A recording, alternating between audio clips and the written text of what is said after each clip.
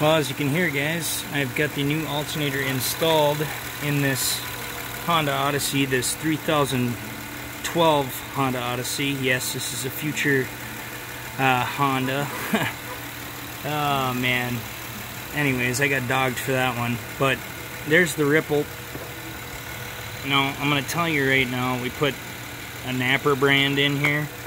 Um, I left the bolts nice and loose because I that's about how much faith I have in Napa alternators. I don't make the call, guys. I wanted a Honda alternator. I got an Napa one. I got an Napa battery, so it is what it is. But we're unloaded right now, charging at 14 volts. Um, you can see the setting for the uh, AC ripple is set at 2 volts, 20 milliseconds, which is the same um, setting I had as before, but you can see that the ripple is considerably different looking. Now what I'm going to do is I'm going to go out because I did a screenshot of the other one. I can find the dang thing. Hold on. So here's the screenshot from the before in part one. You can see 2 volt scale filtered on a 20 millisecond screen and we were at what 12 uh, volts you know under obviously way low on our voltage but there's the ripple we were getting before. So I just thought I'd show that to you guys so that uh, you can see a comparison, not without having to jump back and forth on the video. Let me go back. So I'm going to bring this down so we can get a little bit more detail. And what I'll do is I'll drop that down to a 500 millivolt scale. So what we got to do here is go into there, drop our voltage down to 500 millivolts. Actually, let's go to 200 millivolts. Go back. Um, filtered, AC coupled, 20 millisecond screen. Um, and we can come out, go to like a 200 millisecond. And there you go, guys. Let me stomp that for you. So there is a ripple off a quote-unquote new alternator from Napa in this Odyssey unloaded. So definitely looks different, obviously a lot quieter, and obviously we're getting a charged battery now. Now I will tell you guys, I don't know if it's a strategy um, in these, um, but the charging voltage gets really low on these when you fully load them down. There's a lot of accessories in these Odysseys, so I'm going to load this down and I'm going to show you. Now you got to remember, we're not raising the RPMs, so there's that fully loaded.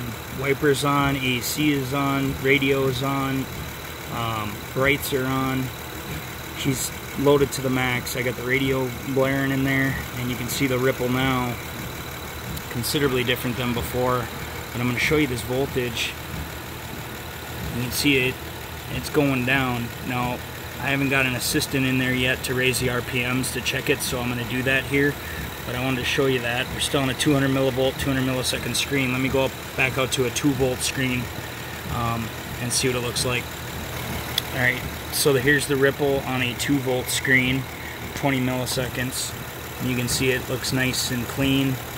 Um, and again, battery voltage is going down below 12.6, but we're fully loaded and I'm not raising the RPM, so, you know, not very often you're going to be doing this um, in a car and again, Napa brand, so I'm a little concerned, but hey, it, I didn't make that call, so nevertheless, um, I'm gonna have somebody get in here and raise the RPMs.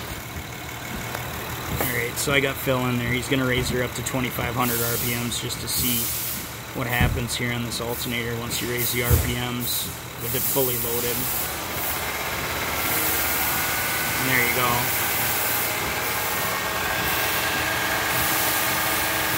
So let's try bring this down to a 500 millivolt. Come down to 200 millisecond screen.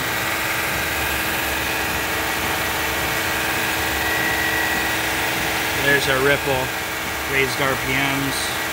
There's our charging voltage. Okay. All right, so we're unloaded and you can see 13.93 and right back to that nice consistent ripple and again I'm on a 500 millivolt screen, 200 milliseconds.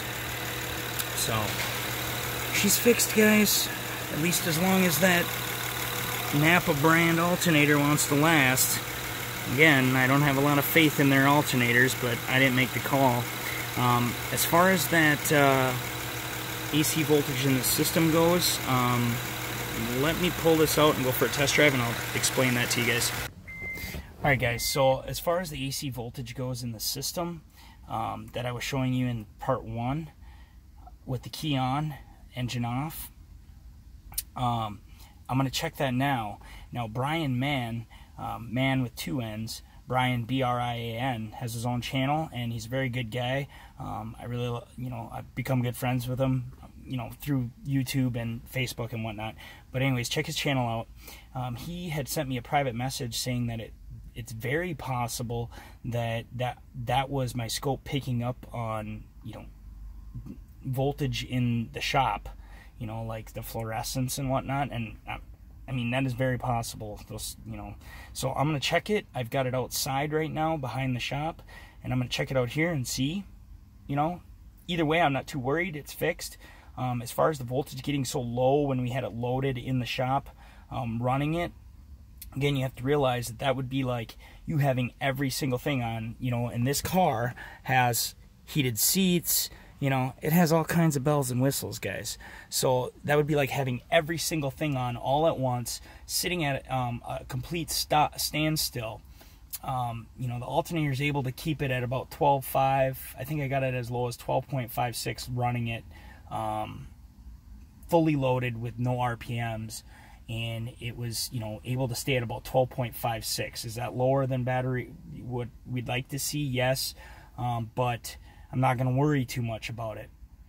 Again, I wanted a Honda alternator, not my call. This goes back to my um, video I made about service writers and ma service managers. It wasn't my call. You know, maybe the customer didn't want to spend the money on the Honda alternator. I don't know. I just would feel more comfortable having an OEM alternator in it, but not my call, right? So let me get out there. Let me show you that. Let's check together because I have no clue if that that uh, AC ripple is going to be in that system of 167 millivolts, I think it was.